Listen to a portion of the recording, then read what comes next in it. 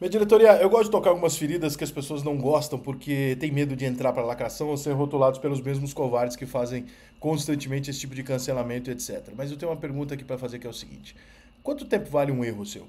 Qual é, a, qual é a, o período de prescrição de um erro seu?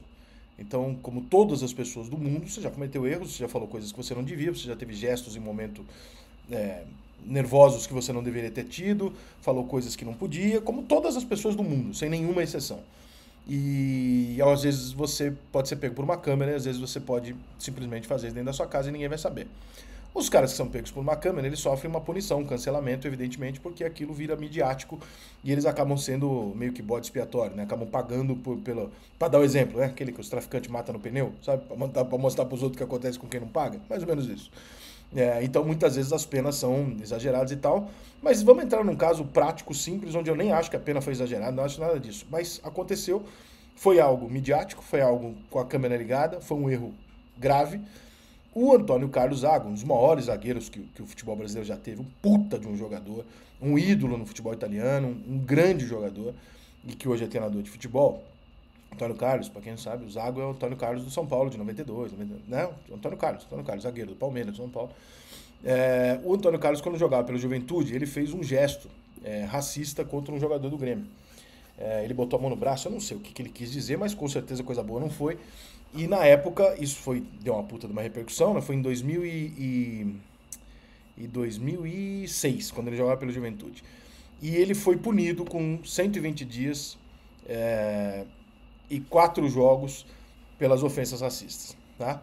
É, ele disse que ele precisava se representar na justiça em um período de três anos, tendo que informar a ausência quando ele viajava por 15 dias, então, enfim. É, ele cometeu o erro, ele foi punido. Na época até me lembro que ele tentou escapar da coisa, quando fala, não, o que, que você fez? Ele falou, não, não, eu tava mostrando um negócio no braço, não quis assumir de imediato, foi pego, foi punido, etc, etc. Passam-se os anos, o Antônio Carlos continua a vida dele, trabalhando, etc, etc. E aí, nós vamos voltar numa história que está acontecendo parecido com o Cuca, mas o Cuca tem uma história é, muito mais difícil do que a do Zago. Porque a do Cuca é uma coisa que ele diz uma coisa, a informação que se tem é de que a garota diz que ele não fez é, e há uma condenação em grupo. Então, e aí? O que, que a gente leva? A gente leva a condenação a ferro e fogo? A gente sabe que a gente não é um país que pode falar de levar em condenação a ferro e fogo. Se a gente for assim, a gente não tem presidente. Então a gente não é um país que leva a condenação a ferro e fogo. As mesmas pessoas que não levam a ferro e fogo, quando convém, estão levando. Então, assim, eu tenho muita dificuldade é, em engolir em 100% é, um crime quando a vítima diz que o criminoso não cometeu. Eu tenho muita dificuldade de fazer isso.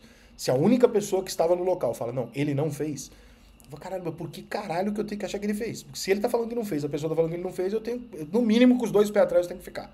Mas a gente sabe como é que é a lacração, o Brasil, etc. Todo mundo já tem uma opinião formada e etc, etc.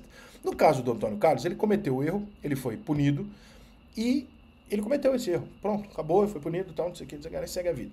E aí agora, quando ele assume como treinador do Juventude, acontece mais ou menos a mesma coisa que está acontecendo com o Cuca.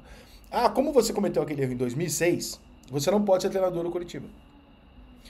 E aí, gente, eu, aí assim, para mim fica difícil, porque é, se você falasse assim para mim, porra, o, o, o, Antônio Carlos é um cara racista, que comete racismo o tempo todo, né, reiteradamente, tá? não, beleza, realmente esse cara não pode trabalhar, não pode representar um clube, não, um racista, não pode representar um clube. Um cara que uma vez cometeu um erro e tal, não sei o quê, tá errado pra caralho foi um ato racista, é, pagou por isso, etc. E aí eu pergunto pra vocês, isso prescreve? O que, que acontece? Então quer dizer que se um dia alguém filmar você fazendo algo que você com certeza já fez na sua vida, de falar uma bobagem que você não deve, fazer uma, um comentário infeliz, na hora da raiva falar alguma coisa que não devia, se algum dia alguém filmar, então você nunca mais na sua vida tem direito a seguir a sua vida. Porque é mais ou menos esse o recado, né, gente? Porque depois, passados, sei lá, eu, 15 anos, é, dessa história. Então, assim, ó, Antônio Carlos não pode assumir um clube de futebol. Mas por que ele não pode assumir um clube de futebol? Ele cometeu um erro, ele pagou pelo erro e segue a vida. Ele não, não cometeu de novo esse erro. Não, não pode. Não Porra, no caso do goleiro Bruno, é, a minha discussão não é nem por que não pode, porque eu entendo por que, que não pode. A minha discussão é a pena de morte. Porque, tipo assim, ó, já que ele não pode voltar para a sociedade, então, então a gente tem que discutir a pena de morte. Porque, né, se ele não pode voltar, então vamos discutir a pena de morte. Que eu acho justíssimo. Agora, no caso do Antônio Carlos, é, ele cometeu um erro feio, pagou e segue. E toda vez, então, que ele continuar a vida dele, isso vai ser colocado como um empecilho, Então significa que o mesmo peso dado a quem mata alguém é o mesmo peso dado a quem comete um, um erro de falar uma bobagem, de fazer um gesto eh, idiota no momento de destempero no meio de uma, uma briga, de uma discussão durante um jogo de futebol. Então você pode pagar e isso não vai devolver você de jeito nenhum. Você vai pagar pro resto da sua vida. E eu posso até entender se você estiver do outro lado falando assim, é isso aí mesmo, eu acho que o cara que comete um ato, tudo bem.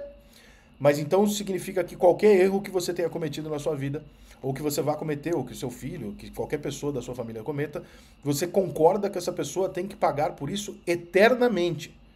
Sob todos os novos as novas circunstâncias, sob qualquer condição, onde quer que ele esteja, ele tem que pagar por isso eternamente. Ou seja, você destrói a vida dessa pessoa para sempre, de uma maneira que ele não pode nem se recuperar, né, nem se corrigir e nem pagar por aquilo.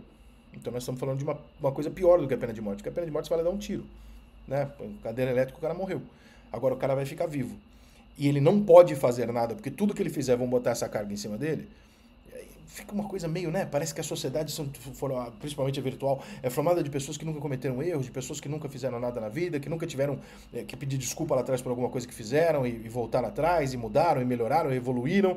Né? Nenhum, todo mundo aqui tem a mesma cabeça que tinha quando tinha 20 anos, todo mundo aqui é, é, sempre agiu perfeitamente, nunca ninguém aqui falou uma bobagem nervoso, nunca ninguém fez nada disso.